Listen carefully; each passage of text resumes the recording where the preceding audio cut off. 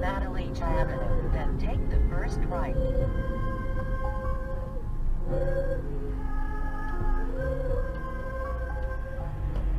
Oh!